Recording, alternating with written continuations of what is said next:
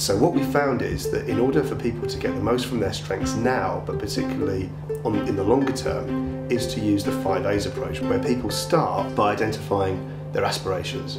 Where do they want to go in their careers? Where do they want to go in their current roles? What do they want to get from work? So having that absolutely clear, crystal clear for them, we found to be really important. Um, after that, awareness, the second of the five A's, enables people to understand how they can use their strengths to get there to achieve that destination, to get to the end point, and to create a plan to ensure that they do.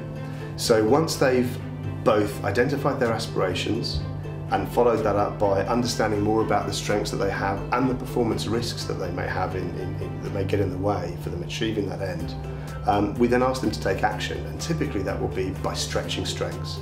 The fourth A is agility. So becoming much more um, agile, flexible in the way that they can use strengths, dialing them up, dialing them down, using them in combination, dealing with change and navigating change and transition much more effectively. The fifth A is achievement.